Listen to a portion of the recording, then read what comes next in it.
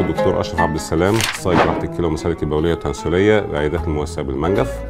آه، كل سنة طيبين بدخول آه، شهر رمضان المبارك علينا. بعد الأيام بعد علينا وعليكم باليوم والبركات آه، بالنسبة للمسالك الصيام معناها إن جسمنا مش داخل له مية. فبالتالي يفضل من بعد الفطار لغاية السحور إحنا بنشرب مية بمعدل منتظم. مش نشرب كتير ونقعد شوية ما نشربش ونشرب كتير. مش صح.